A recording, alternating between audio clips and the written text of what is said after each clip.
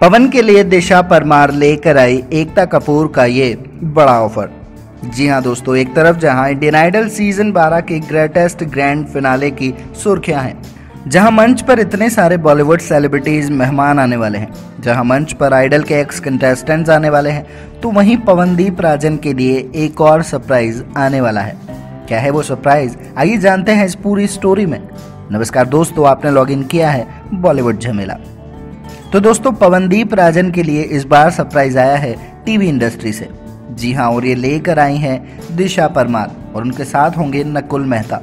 बता दें कि दोनों का एक सीरियल आने वाला है, जिसका नाम है बड़े अच्छे लगते हैं सीज़न टू और इसे प्रोड्यूस कर रही हैं बालाजी टेलीफिल्म्स की एकता कपूर। एकता कपूर ना सिर्फ़ टीवी इंडस्ट्री बल्कि बॉलीवुड इंडस्ट्री में भी कई सारे प्रोजेक्ट करती रहती हैं।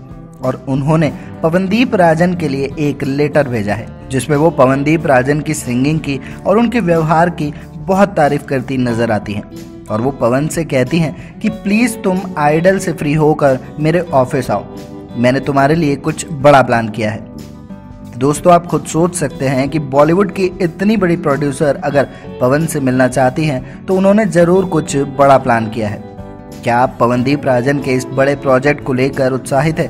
क्या आप पवनदीप राजन को आइडल 12 की ट्रॉफी के साथ देखना चाहते हैं? अगर हाँ तो आपकी राय हमें नीचे कमेंट बॉक्स में लिखकर ज़रूर बताएँ। शुक्रिया।